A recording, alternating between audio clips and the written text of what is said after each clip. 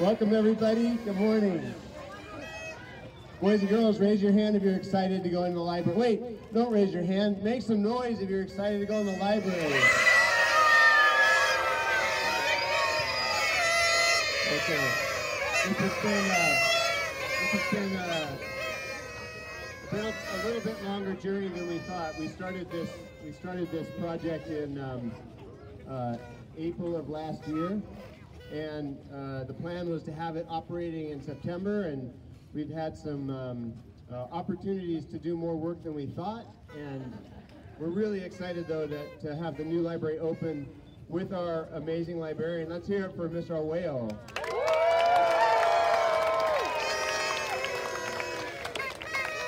We've had lots and lots of help with um, with parent volunteers and staff members.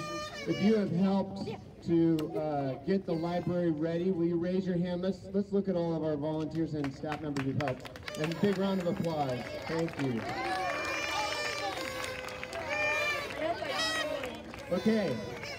And now the moment you've all been waiting for, the ribbon cutting. We're not gonna, all right. Yeah, oh, and because we don't have, um, we don't have ventilation inside, uh, because we're not yet able to open the windows, uh, and we don't have the active peer systems installed yet, so we ask that if you go inside, please wear a mask, uh, inside the library.